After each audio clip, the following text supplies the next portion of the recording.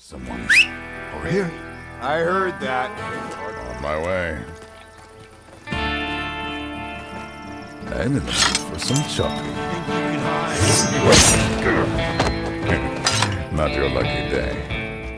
Hello and welcome to Rock Paper Shotgun, where I've spent the last week hiding in bushes and aggressively whistling at strange men. It's the kind of behaviour that got me banned from my local park, but in Desperados 3, it's encouraged. In fact, if I've learned anything from this game, it's that you can be as naughty as you like in public spaces, as long as you're rich enough to throw away a small fortune in diversionary coins. Desperados 3 is a real time stealth tactic tactics game from the makers of Shadow Tactics. It harks back to a simpler time when towns were isometric and every bad guy had one of those big green triangle quality streets wedged into their eyes. Your job is to sneak heroes around those sight cones to pull off classic cowboy stuff, dropping bells on bandits, blowing up massive bridges, escaping a loveless marriage? Hmm, I don't remember that in the Dollars trilogy.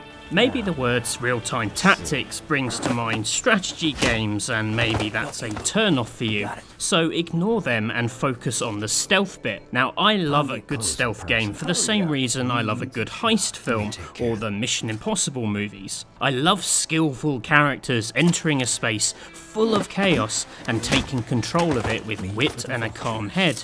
Desperados 3 is all about that, and that's why it's one of the best stealth games I've played in recent years. I know a claim like that is as bold as a vial of perfume to the vase, but I'll hopefully justify it in this video. And if you enjoy the video, please do subscribe. Your continued support means I'll one day be able to pay off my fines for hiding in the bushes and aggressively whistling at strange men. Now, onwards. I can do this all day.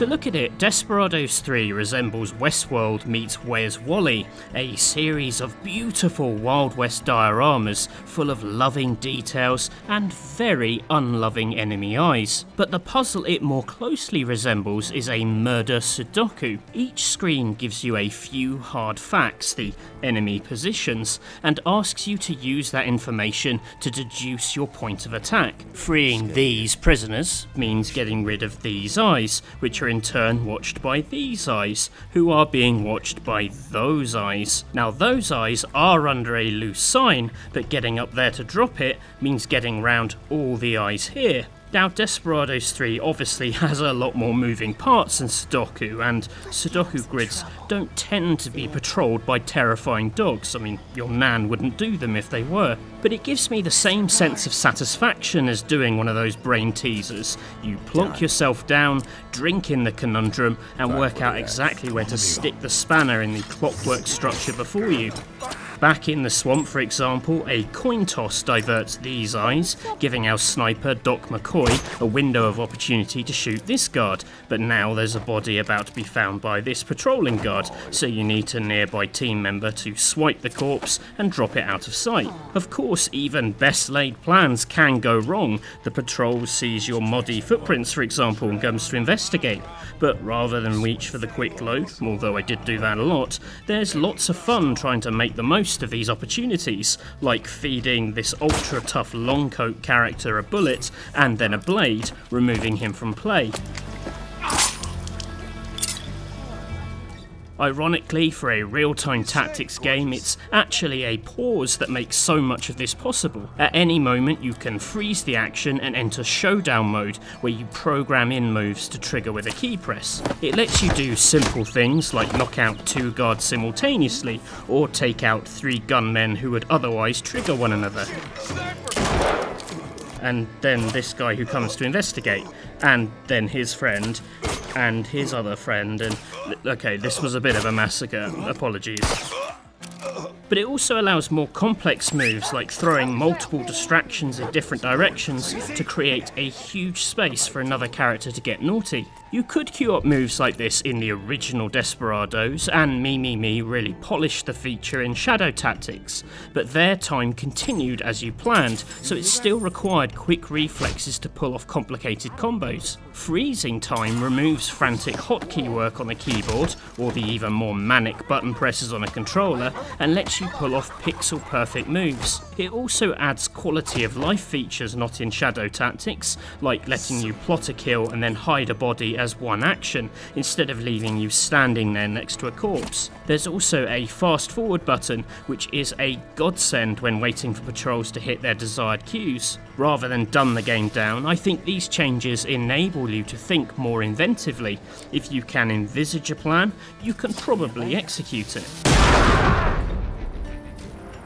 Okay, then. All this experimentation only works because the game is so open about its rules. A lot of stealth games aren't. They trade on slight vagaries in their systems to create tension, that sense of will they, won't they that keeps you on your toes. Here, nothing is left to chance. Dotted circles show an ability's reach. Blue circles reveal how audible those moves are. Red and green lines show valid lines of attack, and markers can be placed to show every pair of eyes looking at any given point. I'm glad we don't have these dotted lines in real life, incidentally, as it would reveal to my wife how often I'm thinking about Toblerone while she's telling me off for not exercising. More importantly, you have sweeping view cones, which are made up of the solid green bit where you'll always be seen, and a shaded pocket created by cover where you can crouch or hide bodies undetected. The two-tone view cone, which is very fun to say, was introduced in Shadow Tactics and continues to be one of Mimimi's best contributions to this particular genre. It creates lots of fun moments where you dart between cover as the cone shifts this way or that, and it brings interesting challenges in nighttime levels where everyone's range is naturally limited, but torches and bonfires light up tricky bubbles of perfect vision. Of course, pick up a torch and you can start drawing attention to your own lures, bringing a whole new level of traps to proceedings. The interface is also what makes guns work in Desperados 3, which are a vital part of westerns, but are also a big lump of anti-stealth sitting in your hand. Here guns are very noisy, which means alarm bells in most areas, which means a little trip to our old friend, the F8 key. But if you can get some distance or remove any ears in the blue circle, they provide long-range murders to weave into your stealth plans. Reaching the deserts of Mexico and finally having the space to mess around with Cooper's dual pistols was a really fun moment. Also, shout out to Doc McCoy, whose long range sniper rifle, paired with a tiny audible window, gives him incredible power to rain down death. And unlike Shadow Tactics sniper Takuma, he's more physically capable, so it can be used way more aggressively than his Shogun counterpart. It ain't personal. Something feels really off. Sorry. I mentioned Shadow Tactics as there's no doubt that it looms large over Desperados 3 or lurks under it is probably more fitting. The play of light and shadow in the nighttime levels, the introduction of surfaces that make more noise, the way guards can follow footprints in the mud. Experienced ninjas will feel very comfortable with these and be able to lean on some old tricks. But there's definitely a greater sense of ambition in Mimimi's new level designs. Part of it is down to a bigger focus on story. There are a few stages where you get to explore non-hostile environments which could be lifted from a Hitman game, as you mingle with civilians and try to slink into areas that are out of bounds or listen for NPC clues to get an idea of what to do next. But even outside of these, there's a sense of our heroes getting into unusual scrapes. There's a brilliant level where you try to put the band back together after a really messy night out. It's basically the hangover directed by Sergio Leone, and a level featuring a speeding train is an all time stealth classic. As you use the bulk of the train to mask your naughty deeds on either side of the track, or use it to wipe out goons with accidental kills. But beyond these high concept showcases, there's a general sense of scale and escalation that feels very true to the Western. Whether or not it's intentional, there's often a structure to levels that see smaller pairings dumped on either side of the map, then meeting up in the middle, creating this sudden explosion of strategies when all those abilities finally get back together. It's quite rare that you have all five heroes together at the same time, and those moments feel suitably empowering when they occur. The final mission, which I won't spoil here, is a killer test of everything you've learned and ties up the story in a way that's both mechanically and narratively satisfying. It's beautifully done. Sure thing. Let's make it quick. Who needs a good... Someone's about to lose a few teeth. Just as the levels build on what came before, so do the heroes. At first glance, some could be descendants of Shadow Tactics' gang. Cooper's throwing knife and coin toss feel like Hayato's shuriken and stone toss, and Kate's disguise and perfume bottle handle a lot like Aiko's moves, although with an added ability to lead lovesick suitors into horrible traps. But Hector and Doc are quirkier hybrids, and newcomer Isabelle is a bonkers burst of possibilities who can mind control enemies and tie their fates together. It's like Emily from Dishonored 2 escaped into this game. I've seen some people question the tone of bringing actual magic into Desperados, but it's a cartoon cowboy world, so eh. And also, she gave me some of the game's biggest eureka moments, which I'm not going to spoil here. What I love about this cast, and the same goes for Shadow Tactics, is that on paper there's a lot of crossover between skills. A coin distraction and a blinding perfume toss both achieve roughly the same thing. But as the game goes on and situations intensify, you begin to appreciate each subtle difference, right down to which characters can carry a body standing and which drag them along the ground. It really does matter. And because the game dictates which characters are used in which mission, it's constantly cooking up new mixes, teasing out the interplay between new ability sets in really interesting ways. All this means getting through Desperados 3 once was a pleasure. It took me just under 35 hours on hard difficulty. That's my personal sweet spot, as it adds a few more guards and gives them quicker reactions, which push your grasp of the systems that little bit harder. But it also means showdown mode still freezes time, which doesn't on the highest Desperado setting. If you want to go like a granular Goldilocks and tweak the murder porridge until it's just right, you can also do that. This really is how difficulty should be handled. I say 35 hours, but that's only really the beginning of your relationship with Desperados 3. Each level has 8 hidden objectives that reveal themselves at the end. Not only do they extend the game, they force you to engage in ways you might not have before. How do you assassinate this building foreman when you can't lay a finger on any guard in the building site? Hint, not like this. Can you clear out the banks of the Mississippi without swimming in the Mississippi itself? A task harder than spelling Mississippi. When other objectives ban Kate's disguises or melee takedowns or hiding in bushes, it's almost like you're playing a new level. And don't get me started on the time trials. Some of these stages took me a couple of hours to beat, only to get to the end and see a badge for doing it in 15 minutes. A tiny part of me is sad that I will probably never be able to tick these speedrunning tasks off, but I know plenty of fiends who will absolutely relish in them.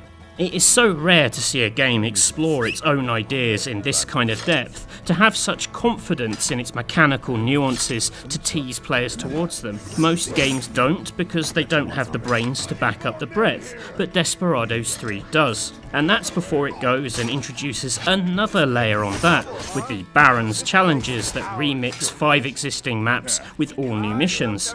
You'll tackle missions with different characters, take on a detective task, even attempt a series of assassinations with all your weapons removed. Amazingly, my accompanying review notes say the team intend to add more of these level twists post release, ideally one for each map.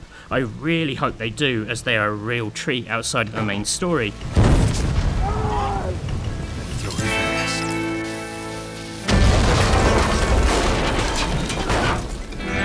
I guess the short version is this. If you like what Desperados 3 does, there is so much Desperados 3 for you to enjoy. I really love Mimimi's clear devotion to the genre. To be honest, I think they've elevated it way above what it ever was. As much as I liked Commandos and Desperados 1, this is a much better version of that. It takes the core idea of colourful characters coordinating in a hostile world and makes it sing. I haven't even gone into how much I love the art design, the music. Hopefully, it's clear from this video that this is going to take you on a tour of some beautiful Wild West hotspots. Full disclosure, I am a nut for westerns, I'd prefer a visit to Westworld to Shogun World for example, but even without that affinity, this is an exciting, colourful universe to spend a week or two.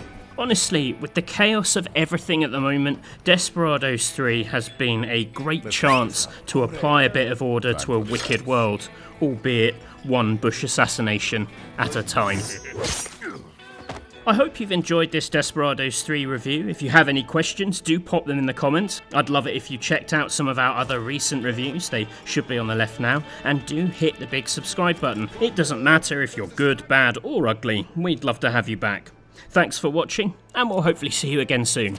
Bye for now.